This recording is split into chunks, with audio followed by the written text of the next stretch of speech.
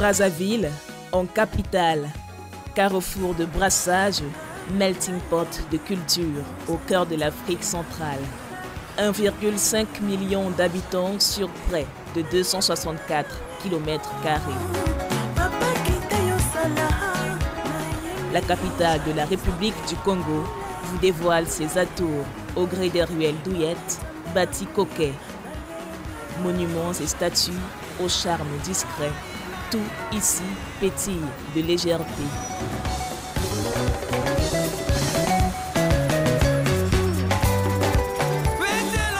Sur le flot de rire, des ombres se dessinent, portées par la crise du pétrole. Aux journées, c'est comme ça. Il n'y a pas l'argent. Il faut regarder les marchés là. C'est comme le boulevard. Comment moi je vais partir à Chine Tout c'est fermé. Tout électrique là que ça vient à Chine, ici, ça ne marche pas. Parce qu'il n'y a pas l'argent. Portrait d'une économie en quête de croissance et d'un pays à l'école de la résilience. Immersion au pays de la sap, de la rumba et de la joie de vivre.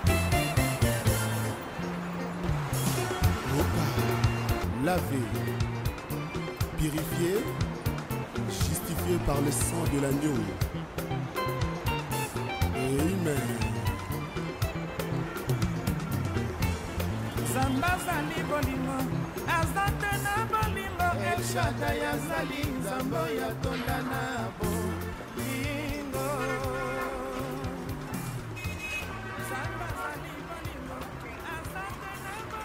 Marcel, notre conducteur, aime les étrangers. Son taxi balade tous les jours de nombreux touristes entre les petites ruelles de Brazzaville. À tout bout de phrase, du lingala, l'une des langues nationales du pays. Malgré ses 20 ans de métier sur le bitume de la ville, Marcel ne parvient pas à trouver notre hôtel. Madame, hôtel Riviera ezalaka Hôtel Riviera. C'est que Brazzaville est pavée d'hôtels à s'y perdre. La ville héberge une pléthore d'étrangers attirés par la réputation de pays pétroliers inondés d'argent. Bon nombre d'immigrés sont devenus des commerçants dans la petite ville. Le marché Poto-Poto est un peu leur repère, carrefour d'identité plurielle en quête d'un mieux-être. Ah, ça c'est 2500. Mamoudou le Tchadien a posé ses quartiers de viande ici pour gagner plus. Ici là tu trouves facilement. Oui. Là-bas tu trouves difficilement. C'est comme ça. Je suis venu pour l'argent. Si je gagne, euh, je vais retourner. Mon problème c'est ça. Mais l'argent se fait rare sur les étals de Brazza. À Poto Poto, une chape de stress voile le regard des commerçants. Dans ce marché populaire, les prix des denrées ne cessent de grimper. Ici, des œufs à 125 francs l'unité et encore, le prix est soldé. Très souvent, il caracole à 200 francs. L'inflation ici n'est jamais bien loin. La viande de bœuf, le kilo, c'est 4000 francs au Congo, Brazzaville. 4000. Si vous avez une bouche de 8 personnes à la maison, donc euh, le loyer va prendre combien de kilos? À 4000 francs le kilo. Sans pourtant compter les, les assaisonnements. Vraiment, ça nous dépasse. Faute d'argent, les clients se raréfient aux grandes dames des commerçants.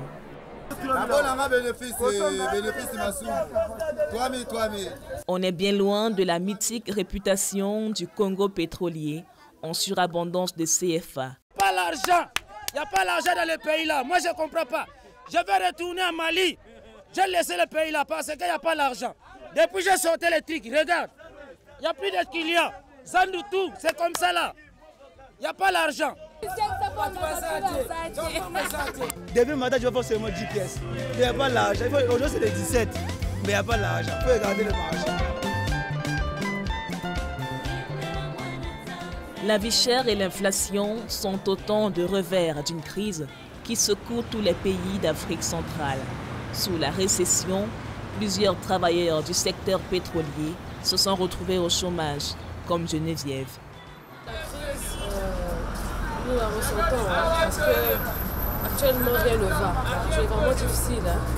Je ne sais pas euh, comment expliquer ça, mais vraiment ça a l'impact. Nous avons des difficultés vraiment à avoir, euh, même à toucher avoir les emplois. J'ai- moi je travaille quelque part, je ne peux pas citer l'endroit, mais on m'a enlevé tout simplement parce que ça, le, le quota ne répondait plus. Il fallait du l'effectif. J'ai aussi beaucoup de collègues qui ont quitté Point Noir qui ont à vivre la même chose. Dans les rues de Brazzaville, la journée est une combinaison d'équations pour dépenser à minima. De plus en plus de Congolais rechignent à débourser 1000 francs pour la course en taxi. Les files s'allongent devant les bus de transport en commun. Si dépend varie avec la, la distance. Souvent ça va entre les prix. Les prix varient pour coûter entre 1000, 1500 et 2000. Ça ne m'arrange pas pour. Si je veux faire cap, comment je fais? Par rapport à mon revenu, ça ne m'arrange pas. Puis je fais 150 pour le bus. Donc je fais autant de courses. Parfois dépenser même pas, plus de 1000 francs. Du coup, je vois pas prendre un taxi. Du coup, le volant de Marcel ne tourne plus assez vite pour nourrir sa famille. Tel que moi, je suis pauvre. C'est ça que la voiture qui nourrit ma famille et moi-même. C'est ça aussi la voiture là qui me fait sortir de l'argent pour payer la maison. Le chauffeur de taxi doit cumuler stratégies et restrictions pour épargner. Si tu gagnes 30 000 francs, 40 000 francs, le versement c'est 17 000. Les 17 000 là, tu mets pour le carburant. 12 000 francs. Le reste qui va rester, un peu d'argent là, tu donnes le 4 000 francs, le popote de la maison, le 3 000 francs là qui va rester. Tu laisses, tu jettes ça quelque part à la maison. Tu touches pas ça. C'est ton argent, mais c'est pas ton argent. Au fur et à mesure, ma vie, ça pousse, ça va pousser petit à petit. Petit à petit, le Congo s'adapte à la pénurie de cash. Affaibli par la chute des cours des matières premières, l'économie du pays dégringole à la vitesse du baril de pétrole, lui aussi en chute libre. Nous subissons collectivement la même baisse de nos ressources financières due à la chute du pétrole. Donc il y a une crise qui est une crise financière grave. Quand, les tarifs du pétrole passent en moyenne il y a trois ans de 120 à 130 dollars le baril à aujourd'hui 50 ou un peu moins, et même c'était descendu à moins de 40 il y a quelque temps, vous comprenez quand vous perdez les trois quarts ou plus de vos recettes, euh, forcément euh, dans des pays dépendants à 80% de recettes pétrolières, vous êtes en difficulté. En difficulté, la République du Congo doit aujourd'hui retrousser ses manches.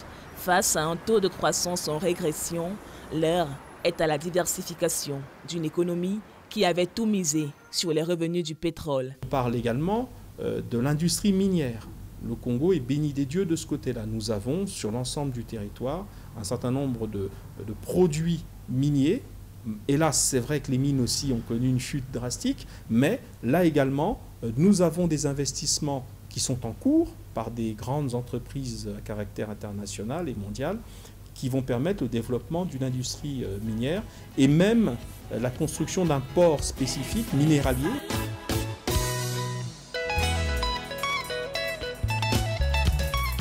Aujourd'hui, le Congo explore d'autres potentiels. Le pays veut cueillir la croissance dans ses forêts foisonnantes et sa généreuse biodiversité.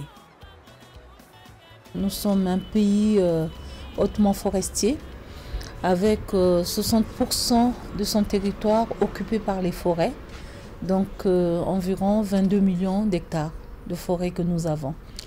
Et dans ce bassin forestier, dans ces écosystèmes forestiers, nous avons euh, des plans d'eau, nous avons une diversité d'espèces euh, biologiques euh, qui varie entre les espèces de flore et les espèces de faune.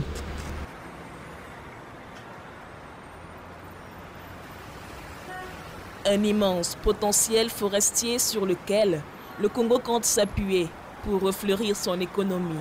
Préservation et transformation sont les mots d'ordre pour convertir en recettes une grande variété d'espèces boisières. Le gouvernement s'arrange pour que la production, l'extraction forestière se fasse en tenant compte d'une nécessité absolue. Il faut assurer euh, la régénération, le renouvellement des euh, espèces euh, boisières qui sont extraites et, produites. Il faut favoriser une mise en production locale, parce que c'est bien de couper des arbres et les envoyer à l'exportation. Ça n'apporte pas grand-chose si ce n'est quelques recettes d'exportation à l'État.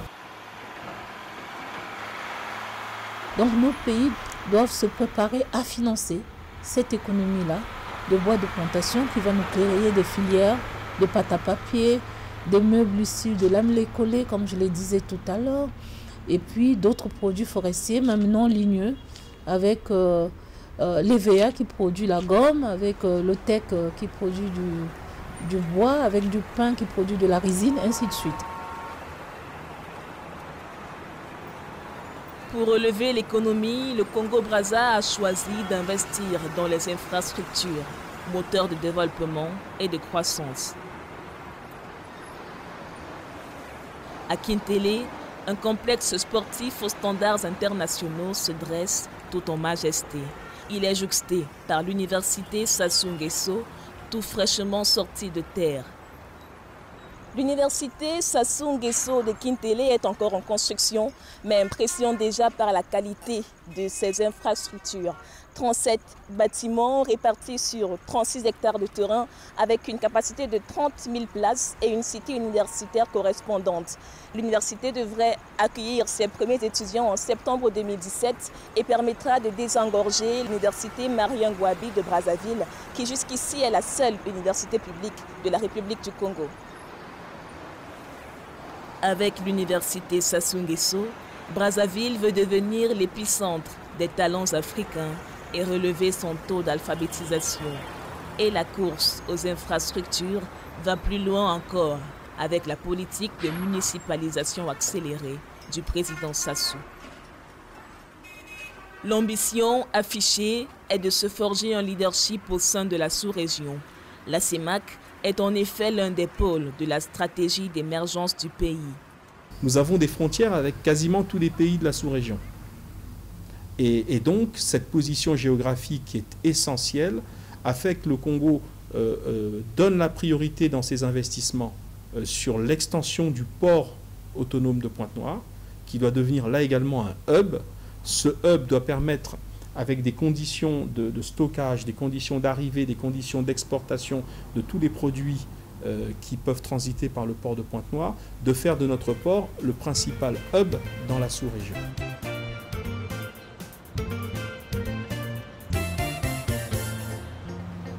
La sous-région comme multiplicateur de points de croissance, l'angle des tirs s'appuie surtout sur les atouts naturels d'un Congo au carrefour de l'Afrique centrale. Dans son bureau avec vue sur le fleuve Congo, Alain Akwala peaufine sa stratégie d'attraction des investisseurs.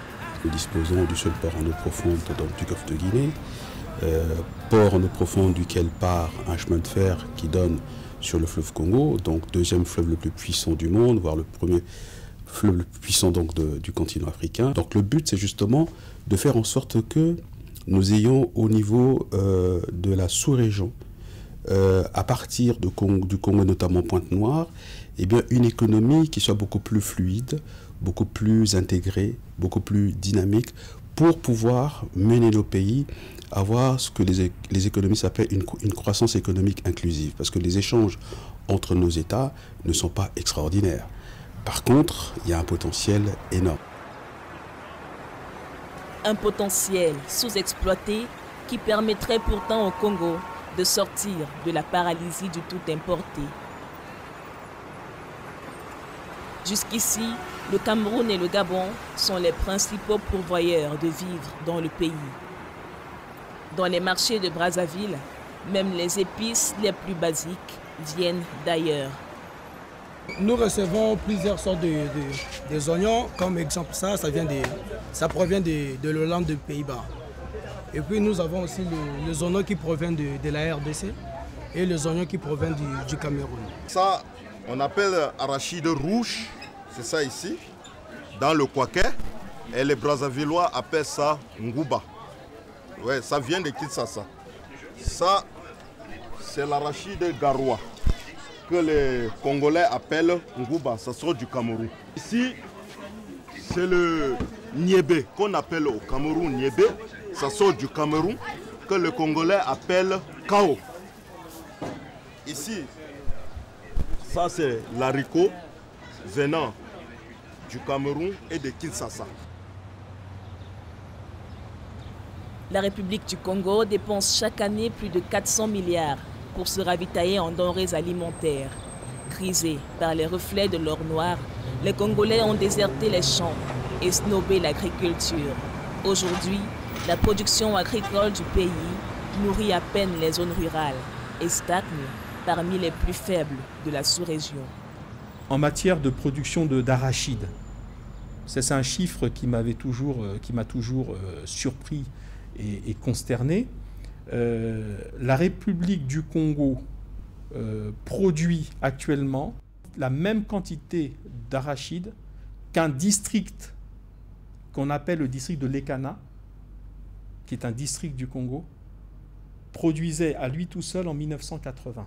C'est-à-dire qu'aujourd'hui, toute la République produit le même niveau qu'un simple district il y a 36 ans. Ça veut donc dire que notre production a complètement baissé, chuté.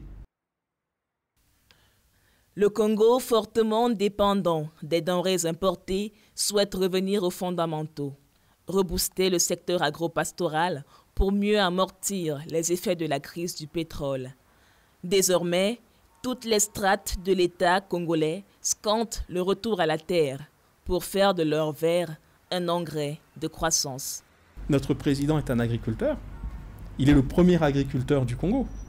Et il incite fortement les ministres, notamment, à donner l'exemple aux populations pour que nous développions une agriculture de production et pas seulement une agriculture euh, d'autoconsommation par nos paysans. Image inédite aux encablures du marché total de Bakongo à Brazzaville. Des jeunes qui labourent avec conscience leur avenir d'entrepreneurs agricoles. La petite parcelle est en fait un centre d'initiation aux nouvelles techniques agricoles. Patrick, son promoteur, a choisi de parier sur l'agriculture en 2009 malgré les railleries d'une population congolaise aveuglée par l'or noir. Le Congo, c'est un pays qui ne comptait pas peut-être sur l'agriculture hier. Toute l'économie congolaise était concentrée dans le pétrole. Donc les gens n'accordaient pas trop d'importance dans ce domaine. C'est nous autres là qui avons appris dans ce domaine. Et d'abord, je vais vous dire que moi, j'ai créé l'entreprise là avec 30 000. Parce que c'est un domaine prometteur. Le domaine a tenu ses promesses et porté de nombreux fruits. Aujourd'hui, Patrick inonde Brazzaville de légumes fraîchement cueillis ici sur cette maigre portion de terre. Nous sommes dans le maraîchage avec les cultures de, de 30 à 45 jours. Parce que ce sont les cultures là où on peut facilement vendre et avoir un petit revenu. Donc ici, nous avons euh, les épinards ou, la baselle. Nous avons la laitue, la, la batavia. Nous avons les aubergines. Nous avons les concombres. Euh, nous avons la ciboule. Et nous avons aussi euh, du céleri branche. Finance au l'homme crée même des emplois au plus fort de la crise financière que traverse le pays. J'entretiens une entreprise qui emploie 17 jeunes Congolais de façon directe et de façon indirecte. Je ne peux même pas les compter parce que je travaille aussi avec les autres paysans. Nous sommes déjà à notre troisième récolte. Et si vous regardez derrière vous, il y a la laitue que nous avons récoltée ce matin-là pour 50 000. Ce matin seulement, nous avons vendu pour 50 000. Donc c'est une façon de dire que non, la production est déjà là. Apprentis, paysans à l'école du sol, les jeunes citadins ici ont lié leur destin au travail de la terre. Certains, comme Chris Nell, se sont découverts une passion nouvelle. Nous attachons les plantes euh, juste à côté d'un tuteur pour que la plante ne puisse pas ramper tout le long du sol. Dans le Congo, la majorité des enfants ils ne sont pas l'idée d'avoir un boulot, genre euh, une passion comme euh, celui-ci. de travailler, de faire par exemple euh, l'agriculture comme je le fais en ce moment. Il y en a plein qui se mettent là, qui m'ont dit à faire n'importe quoi. Je voudrais bien qu'ils puissent venir apprendre pour que demain ils soient des personnes respectables et au moins honnêtes dans la société. La société, elle, n'en demeure pas moins joyeuse et optimiste. Autour d'une bière du pays ou d'un plat typé, la crise est un sujet parmi tant d'autres. À Brazza, la joie de vivre est communicative. Je suis très content d'être congolais. À mon avis, la beauté du Congo, vous voyez, nous avons les forêts, nous avons des lacs, nous avons des animaux, et beaucoup de choses. Le Congo, c'est un pays béni. Il y a tout au Congo. Il y a à manger, il y a la forêt, il y a la pêche, il y a tout. C'est ça. Donc j'aime le Congo. L'amour du terroir au-dessus des déboires. Les soucis quotidiens ont vite trouvé un exutoire dans la vie qui bouillonne, la musique cadencée et la sape. Malgré la crise, les Congolais cultivent leur réputation de dandy, toujours tirés à quatre épingles. C'est le pays de la sape. Je suis en relax. C'est le pays et c'est du, du, Paul Smith. Et j'ai mon sac en cuir, c'est du Burberry. Voilà. Et même euh, les, mes quêtes, vous voyez, c'est du Burberry. Voilà. Je suis sapeur. Mais tout Congolais est sapeur, hein, dès la naissance.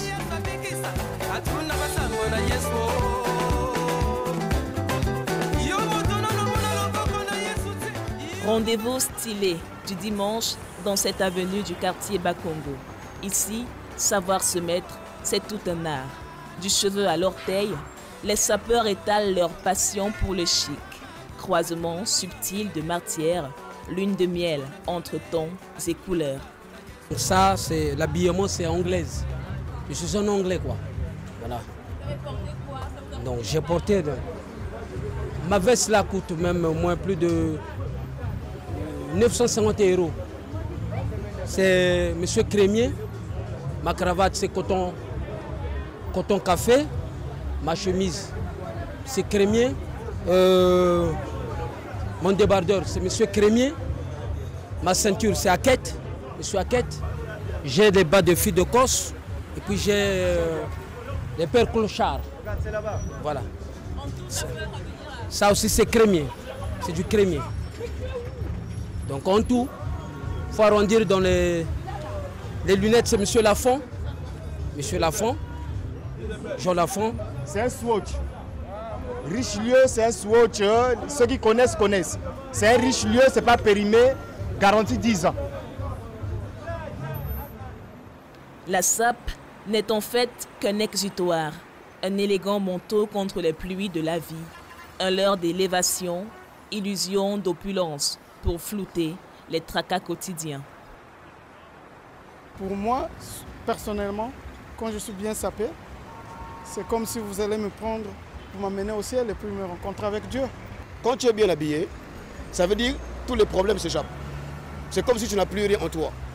Tu penses à rien, mais tu penses qu'aux habits. Quand tu es bien habillé, tu penses plus à autre chose. Aller faire le banditisme, je dis non. Parce que quand tu es habillé, tu ne peux pas faire la pagaille. La ville aussi n'est pas moins sapée. Brazzaville déroule son tapis de hauteur et se construit malgré le poids de la crise. Ici, deux tours jumelles en gestation, Mini Wall Street au centre-ville. Là, la tour Nabemba défie le ciel, fragment d'or massif au cœur de la capitale. La ville semble avoir choisi le vert comme couleur emblème. Vert comme les pousses d'un nouveau départ économique.